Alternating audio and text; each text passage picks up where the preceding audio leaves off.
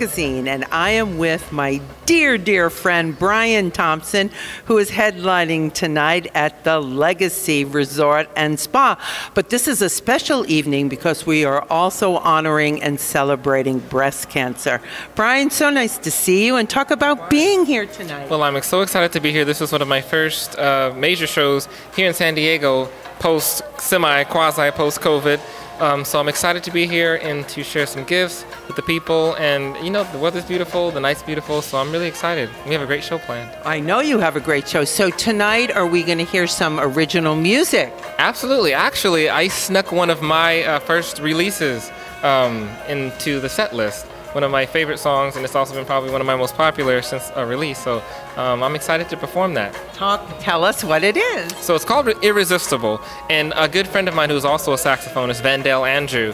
Uh, oh yeah, Vandell. yeah, sure. he we pr- produced a song. I wrote to it, so I'm very excited to share this song, and um, it's just gonna be great. We have a great lineup of music, and um, some of the best musicians I've ever played with here in California. I know. Let's talk about who's in your band. So we got Jermone Randall on bass. I'm so excited to play with him. Carlyle Barriteau. We've played with him so many times on guitar, and Tony Moore on drums. I He's know one Tony, of my right? favorite favorite favorite drummers of all time and um, we have a new keyboard player who just moved here i think from atlanta. So i'm excited to play with him too and we met at rehearsal just on wednesday. So uh, a young cat and i'm excited to play with him too so it's to be great.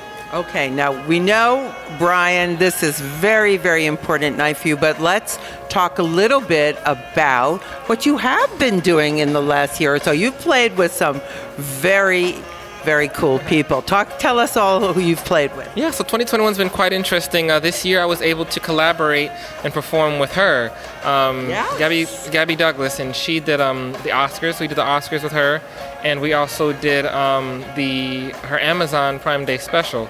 So I'm very very excited about that. Um, of course, I worked with Toni Braxton a couple years ago, but it's really been exciting to do this. And I also have a album that is on the way out. Okay, so let's talk about that. Can we talk a little bit about it? So okay. POV, it's called Point of View, music from my point of view.